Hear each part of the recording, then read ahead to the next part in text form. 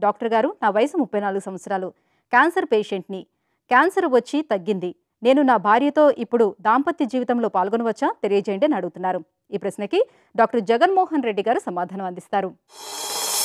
Cancer తర్వాత దాంపత్య జీవితం గురించి చాలామందికి అపోహలు ఉంటాయి భార్యాభర్తల్లో ఒకరికి క్యాన్సర్ వచ్చిన తర్వాత ట్రీట్మెంట్ అయిపోయి నయమైన తర్వాత కూడా వాళ్ళు భయంతో దగ్గర కాలేకపోతారు.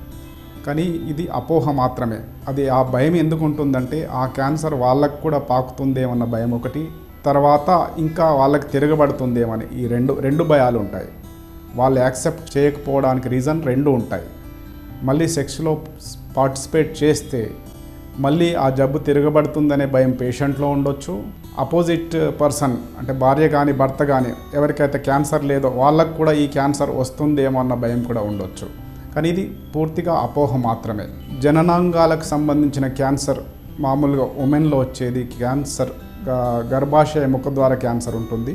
వీళ్ళు కూడా పూర్తిగా ట్రీట్మెంట్ అయిపోయి నయమైన తర్వాత కూడా వీళ్ళు సెక్స్లో పాల్గొనడంలో ఏమీ అభ్యంతరం ఉండదు. ఇంకా వేరే క్యాన్సర్ అనుకోండి వేరే ఆర్గాన్స్కి వచ్చే అలాంటి అభ్యంతరం అనేది అసలు ఉండకూడదు.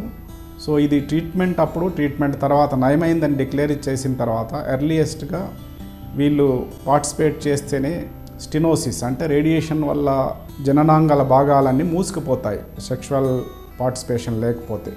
అది నయమైంది అని తెలిసిన తర్వాత ట్రీట్మెంట్ అయిన తర్వాత నిరభ్యంతరంగా వాళ్ళు పాల్గొనవచ్చు ఇంకా బ్రెస్ట్ క్యాన్సర్ అలాంటి వాటికి అనుకోండి అది కూడా ఏమీ ఆబ్జెక్షన్ ఏమి ఉండకూడదు. కీమోథెరపీ ఈ ట్రీట్మెంట్ ఉన్నప్పుడు కొంచెం పేషెంట్ చాలా వీక్గా వీక్నెస్ ఉంటుంది. ఆ రోగి స్వస్థత అంతగా ఉండదు కాబట్టి వాళ్ళు కోఆపరేట్ చేయకపోవచ్చు. ఇవన్నీ అయిపోయిన తర్వాత వాళ్ళు టోటల్గా రికవర్ అయిన తర్వాత భార్యాభర్తల అనుబంధం యథాస్థితిగా కొనసాగించవచ్చు.